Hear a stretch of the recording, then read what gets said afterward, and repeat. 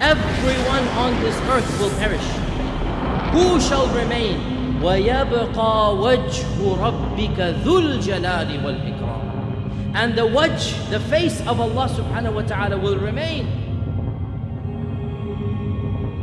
You shall see your Lord just as you see this full moon. You shall see your Lord. And the Quran tells us that when we see the face of Allah, when we see the face of Allah, our faces will become bright and shining. We all know the verse. وجوه يومئذ ناظرة إلى ربها ناظرة. On that day, faces will be shining bright. ناظرة. They're going to be shining bright.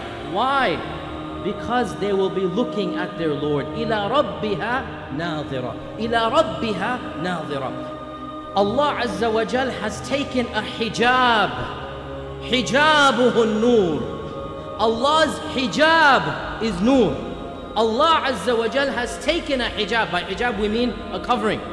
So our Prophet ﷺ said, Hijabuhu nur. Allah's hijab is light.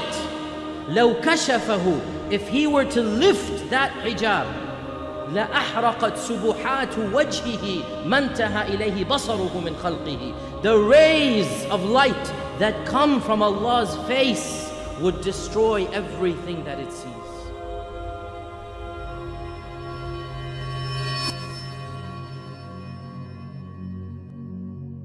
That the greatest blessing of Jannah is not Jannah. The greatest blessing of Jannah is not the things inside of Jannah. Rather, the greatest blessing of Jannah is something even more than Jannah itself. Allah says in the Quran, لِلَّذِينَ أَحْسَنُوا الْحُسْنَى وَزِيَادَةً Those who do good, they shall get al-husna, which is the name of Jannah. They shall get al-husna wa and they will get more than Jannah.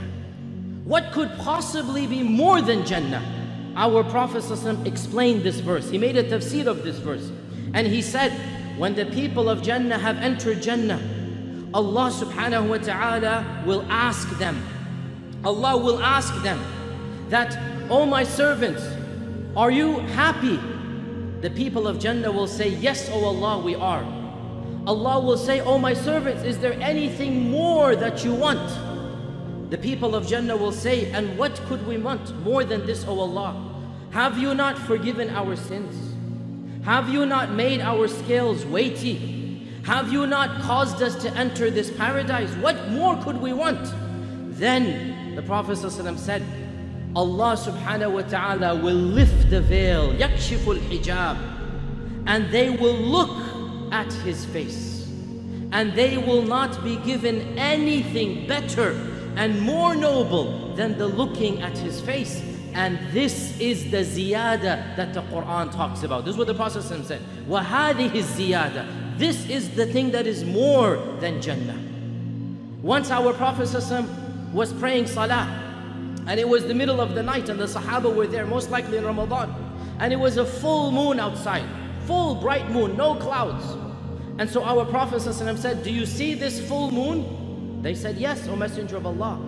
He said, Do you have any problems? Are you jostling and shoveling? Are you fighting one another to see that moon?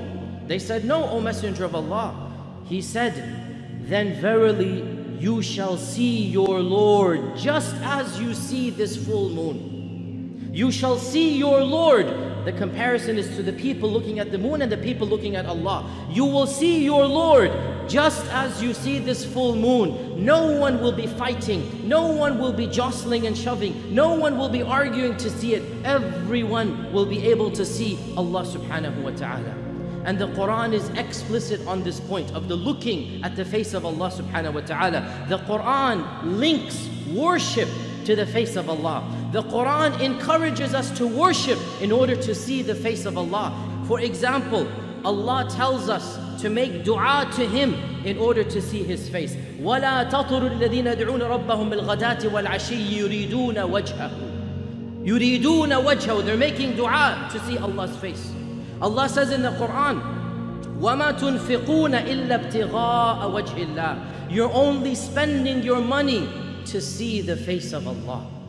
You're spending your money fi sabilillah to see the face of Allah. Allah says you're being good to your relatives in order to see the face of Allah.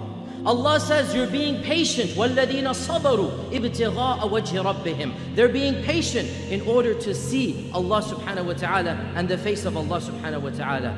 And the Quran tells us that when we see the face of Allah, when we see the face of Allah, our faces will become bright and shining. We all know the verse.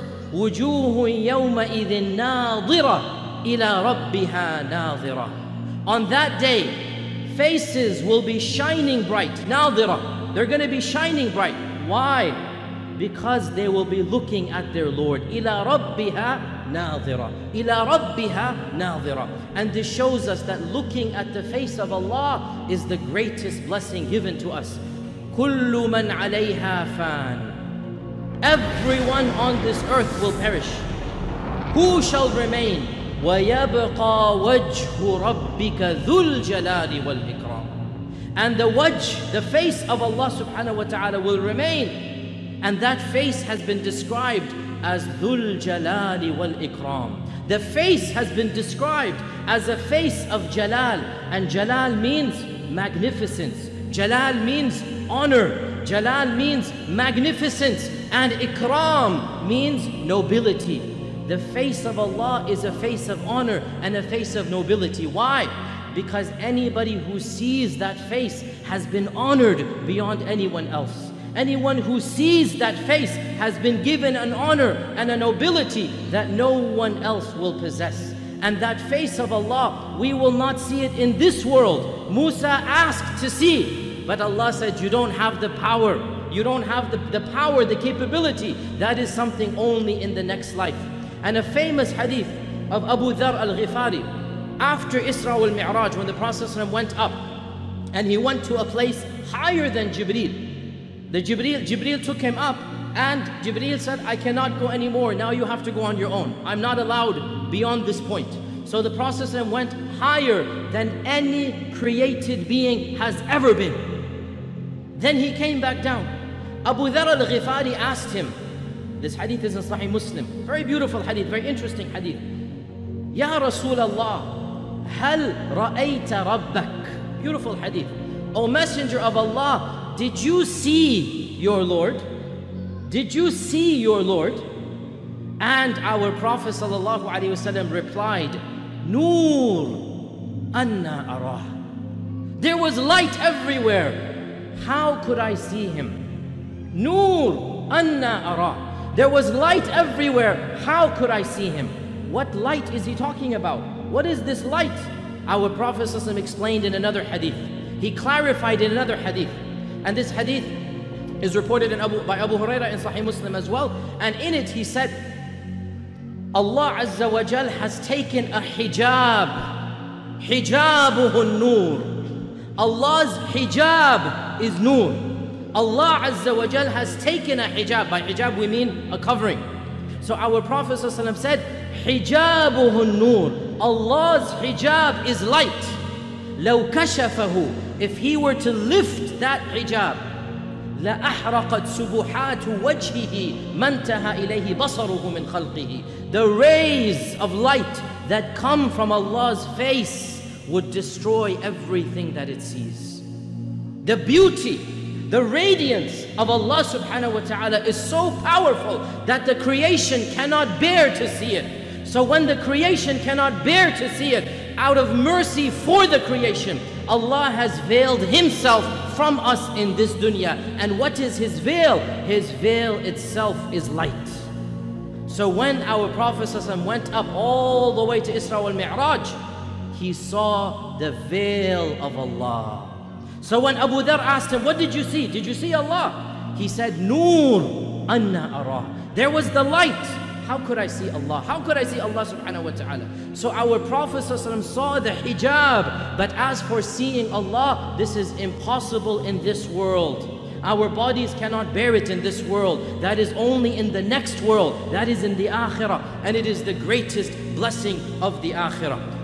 Allahumma inni as'aluka لذة النظر إلى وجهك والشوق إلى لقائك Oh Allah, I ask you for the sweetness, ladha, for the sweetness of looking at your face. وَالشَّوْقَ إِلَى لِقَائِكَ And an eagerness to be with you, an eagerness to finally meet up with you. Why?